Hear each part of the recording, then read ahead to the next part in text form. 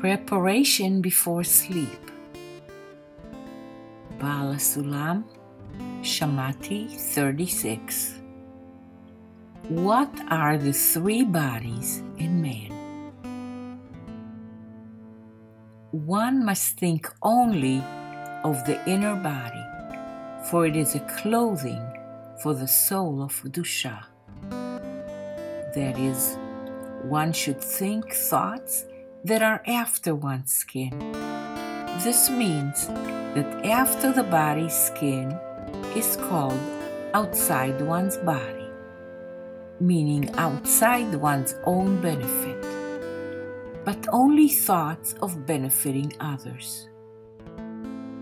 This is called outside one's skin.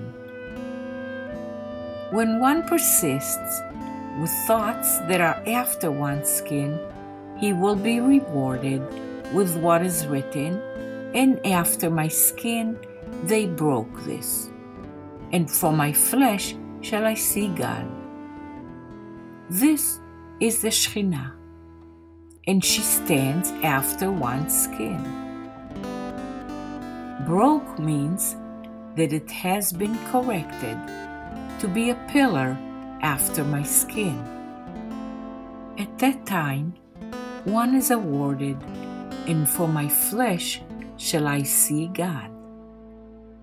It means that Kedusha comes and clothes the interior of the body, specifically when one agrees to work outside one's skin. Good night.